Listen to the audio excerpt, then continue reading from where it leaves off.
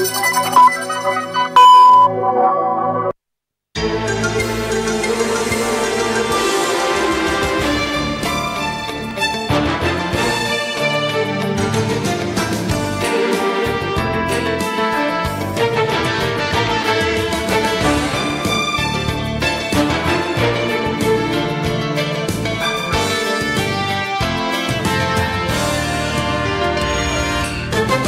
Dit is twee vandaag op donderdag 7 maart 2002. Goedemiddag. In de komende anderhalf uur brengen wij u nieuws, het weer, sport en natuurlijk de achtergronden bij het nieuws. In deze uitzending hebben wij de volgende onderwerpen. Botsing tussen oude en nieuwe politiek. Eerste verkiezingsdebat legt polarisatie bloot. Oud-Papua-leider bekijkt foto's van 40 jaar strijd voor zelfbeschikking. Fortuyn kwam, zag en overwon. Ruim 34% van de stemmen behaalde zijn partij en zorgde daarmee voor een aardverschuiving in de Rotterdamse gemeenteraad. Hij nam daarmee een voorschot op de landelijke verkiezingen. Nu, een dag later, likken de grote partijen de wonden en beraadt Leefbaar Rotterdam zich op de te nemen stappen. Verslaggever Jelle Visser sprak met PvdA-corrivé Bram Peper en VVD-zwaargewicht Robin Linschoten en vroeg hen om een reactie, één dag na de afrekening. Mooie avond. Ja, het dringt nog maar een beetje tot me door, eerlijk gezegd. Ja, ik had dit zo niet verwacht. Ja. U kent Pim Fortuyn, maar u bent geen vriend van hem. Dat zou je niet kunnen zeggen als je weet wat hij over mij en mijn vrouw heeft geschreven. Dat, uh, dat is werkelijk zo uh, schandalig, maar dat doet er niet zo verschrikkelijk veel ter zake. Maar u heeft hem ook niet gebeld, dus om hem te feliciteren? Nee, nee, nee. nee. Ik ben uh, uit een opdracht in de politiek gegaan. Niet omdat ik er zo'n zin aan had. Want ik had een heel mooi en leuk en plezierig leven. Maar omdat het nodig is. Heeft u me gebeld, gefeliciteerd? Nee, ik heb hem niet, uh, niet gebeld. Maar heb, ik, ik heb zijn privé-telefoonnummer niet. En ik, denk dat hij gisteren, straks, hoor, maar... ik denk dat hij gisteravond ook wat anders uh, te doen had. Maar ik zou hem wel willen feliciteren. Hoe hij heeft wat losgemaakt in dit land. Was u vandaag niet aan de stembus gegaan voor een nieuwe gemeenteraad, maar voor een nieuwe Tweede Kamer, dan had u Pim Fortuyn 18 zetels bezorgd. We gaan naar... De lokale verkiezingen van woensdag 6 maart 2002 gaan de boeken in als de dag van Pim Fortuyn. Volgens Bram Peper krijgt de Rotterdamse Raad wat het verdient. Ik denk dat de kiezers heel goed in de gaten hebben dat, uh, dat het toneelstukje dat men heeft opgevoerd uh, rond mijzelf en uh, veel voortreffelijke wethouders, dat het inderdaad is doorgeprikt. daarnaast houden Rotterdammers wel van daadkracht, van mensen die ergens voor staan. En dat is nu uh, de laatste jaren uh, echt uh, weggezakt. We zijn ervoor gegaan en ik zal ervoor blijven gaan. En ik zal mijn uiterste best doen om het vertrouwen wat kennelijk aan ons gegeven wordt... om dat op geen enkele wijze te beschamen, integendeel. Rotterdam is een moeilijke stad waar veel problemen aan de orde zijn. natuurlijk de thuisstad van Pim Fortuyn. En wat, kijk, laten we één ding met elkaar ook niet vergeten.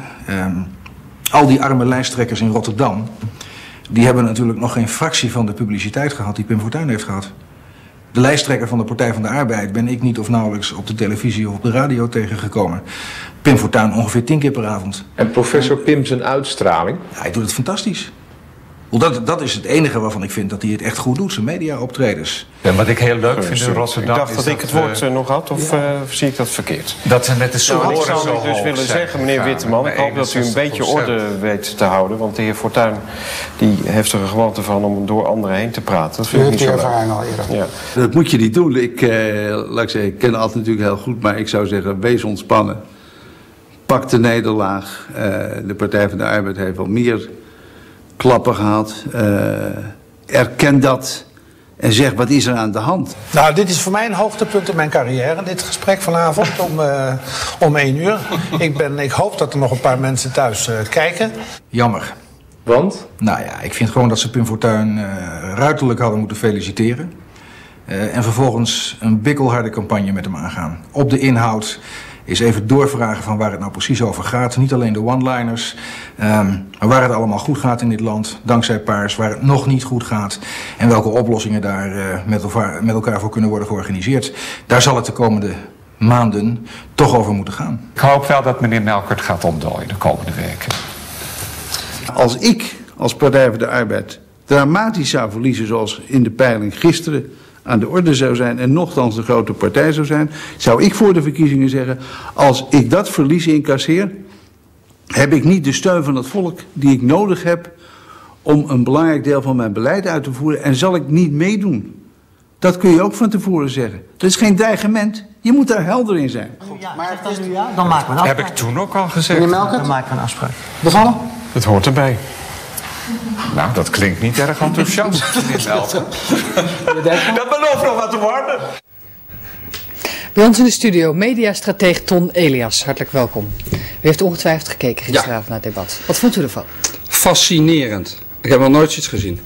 Al de eerste twee minuten, toen, toen, toen die, die vrieskisten tegen elkaar open werden gezet. Je, je voelde de snijdende koude ongeveer thuis in de huiskamer. Ik dacht, wat gebeurt hier? Ja. Ik vond het uh, uh, heel interessant om te zien.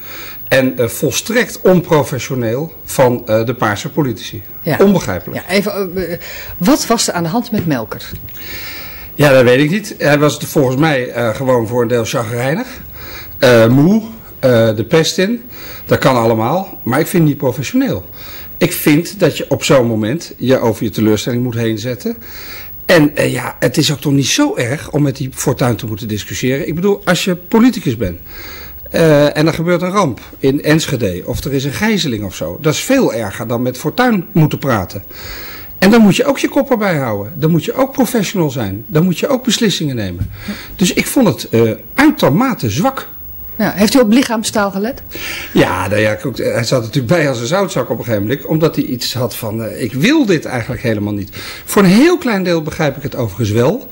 Uh, dat heet geloof ik negative campaigning. Dus een negatieve campagne. Dus je eigen achterban laten merken. Ik vind dat zo'n ontzettende zak, die fortuin. Dat ik daar niks mee te maken wil hebben. Waardoor dus die eigen achterban, die dat ook vindt. Want fortuin wordt weliswaar geliefd, maar ook heel erg gehaat. Uh, dus vindt dat Melkert een goede peer is. Maar dat vindt omdat dan, hij er niet op ingaat? Omdat hij dus zo duidelijk laat merken dat hij, dat hij fortuin niet moet. Denkt u dat dat negative campaigning dat dat een bewuste keuze geweest is nou, dat, dat weet ik dus niet, maar dat zou kunnen hebben meegespeeld. Wat ik overigens een rare keus vind, want het gaat om de zwevende kiezer.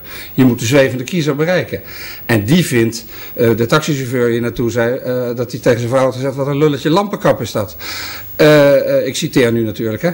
Maar wat, je dus, wat je dus moet doen is de zwevende kiezer willen bereiken. En die, die, die vindt dat natuurlijk maar niks als er iemand op zo'n manier zo, zo sloom en, en, en, en geërgerd. Ga dan niet. Zeg dan, ik vind het een zak en ik ga niet met hem discussiëren. Maar juist Melkert heeft gezegd, we gaan met hem discussiëren. We gaan met hem de strijd aan. Nou, doe dat dan ook. Ja, want dat deed hij niet. Nee, absoluut niet. Want er kwamen wat, wat, wat goed bedoelde sociaal-democratische kreten uh, voor het voetlicht. Maar er werd niet op de inhoud ingegaan. Er werd niet gezegd, meneer, als u wilt dat wij Schengen, dat is het Europese verdrag, als als u wilt dat we dat opzeggen vanwege de vreemdelingen. Nou, weet u wel dat dat drie jaar duurt, of dat het heel ingewikkeld is, dat het door de Eerste Kamer moet. U roept allemaal dingen. Ik vind, zoals Bolkestein dat een paar dagen geleden heeft gedaan. Dat is de manier waarop het moet. Gewoon erop af. Zeggen, voor een deel heeft Fortuin gelijk. Voor een deel is het George van de Rebellenclub. Belletje trekken, uh, overdreven. Dat, dan krijg je een echte discussie. Ik ben er ook van overtuigd dat, dat veel VVD-stemmers zaten te, te smachten tot dat soort geluid te horen zou zijn. Nou, daar zou je toch eigenlijk niet een, een, commissaris uit Brussel voor moeten halen om dat in de campagne te doen. Dat moet Dijksland natuurlijk zelf doen. Ja, de kranten waren tamelijk uh, eensluidend over dat Fortuyn toch als winnaar uit het debat uh, naar voren kwam. Uh, als we even kijken naar de andere lijsttrekkers, wie vond u dat het goed deed? Ik vond van Rozenmuller goed dat hij sportief was. Precies ook wat Linschoten net in het filmpje zei. Je moet dan ook gewoon sportief zijn en zeggen, joh, het is een democratie. Ik vind dat je enge ideeën hebt. Ik ga bikkelhard campagne voeren. Maar sportief doen. Overigens vraag ik me af of die achterban van Rozenmuller dat ook allemaal wel zo leuk vond. Dat hij eigenlijk zo aardig tegen hem deed. Weer even een sprongetje terug naar wat Melkert vermoedelijk heeft gedacht over zijn achterban. Van degene die er zaten vond ik dat Tom de Graaf het beste deed. Want die probeerde het tenminste, lukte niet. En ook de, de leiding van het debat liep op dat moment een beetje weg. Het was een beetje keet daar in de, in de zaak. Maar de Graaf probeerde althans nog met hem te discussiëren. Hij zei ook van ik ga met jou niet in een kabinet zitten, bekijk het maar. Ja, Dijkstal bleef erg aardig hè? Ja, bleef op de vlakte. Bleef vooral op de vlakte. Stond ook als eerste op, liep ook weg. Heb ik ook nog nooit gezien. Gewoon opstaan, uh, schouderklopjes geven, weggaan. Had geen de zin om. Ja, ja, nou ja, had geen zin om dus uh, met hem nog, uh, nog, nog met Fortuin dus nog na te praten. Het was dus al met al een buitengewoon onevenwichtige toestand. Die ook alleen maar over Fortuin ging. Nou, wat je er ook van kan zeggen. Volgens de peiling kreeg hij 18 zetels bij de Tweede Kamerverkiezingen. En al die anderen bij elkaar geloof ik 100. Dus het was sowieso uit het lood dat het alleen maar over Fortuin ging. Ja, maar wat, wat ik dus stom vind, dat ze zich daartoe laten dwingen. Dat kan toch veel simpeler? Ja. Als die, als, die, als die Melkert nou was binnengekomen, hij had hem een hand gegeven, hij had gezegd: Ik heb een pesthekel aan je ideeën. En we gaan er hard tegenaan om je te bestrijden. Maar je hebt vandaag gezorgd dat uh, er meer mensen zijn opgekomen dan we hadden verwacht. Dat is, een, dat is een felicitatie waard. En je hebt geregeld dat je allemaal stemmen hebt gekregen. Ik ga er alles aan doen om die mensen terug te winnen, maar, maar het... gefeliciteerd. Ja. Dan zeggen mensen thuis toch niet meer dat je een lulletje lampenkap bent? Nee, maar het, het, is het niet precies uh, uh, die, het verschil, het botsing van culturen? Hè? Een Fortuyn die fris van de leven kan zeggen wat hij denkt en niet aan allerlei ja, partijen. Hij heeft, het, hij heeft het gemakkelijker. Hij kan een eind wegroepen. Hij is natuurlijk eigenlijk een clown die ballonnen opblaast. En de meute loopt erachteraan. Dan moet je dus gewoon als, als, als rechtgeaarde politicus zeggen... die ballonnen van jou die lopen leeg en die stellen geen moer voor. En dan ook dat aantonen. Maar hij heeft het makkelijk. Hij roept. En, en natuurlijk, jarenlang hebben uh, uh, mensen de paarse soep maar voor lief moeten slikken. Omdat er niet werd uitgelegd waar ze mee bezig waren. Politici komen nu uit hun holen. De laatste maand zien we ze overal. Ja. Denk ja, jongens, was nou gewoon twee, drie jaar lang regelmatig komen uitleggen hoe dat dan zat het met zat. het beleid. Hoe lang gaat de zegentocht van Fortuyn duren? Dat weet ik niet. Ik, ik, kan, ik heb geen kristallen bol. Maar het zou mij verbazen als deze film van dit debat in allerlei campagne-strategische kamertjes niet zeer regelmatig wordt bekeken om er ook iets van te leren. Dit moet anders. Dit moet anders. Ik denk dat ze sowieso tot de conclusie komen dat je veel meer één op één moet debatteren. Ik heb eens een keer zelf een verkiezingsdebat geleid in 94. Toen hebben ze allemaal één op één tegenover elkaar gezet. Dat geeft veel betere en openhartigere en duidelijkere debatten. Met het, het, het, het voordeel voor Fortuyn is dan kleiner. Ja. Als je ze één op één hebt. Ja. En gewoon zeggen, joh, uh, uh, wat je voorstelt klinkt wel aardig, maar het stelt geen bal voor daar en daar en daarom. En dan heb je een debat. En wat, je, je, en wat je nu hebt is een man ja, die vrolijk er doorheen vlindert en de rest zit er een beetje chagrijnig bij. Bedankt voor het commentaar.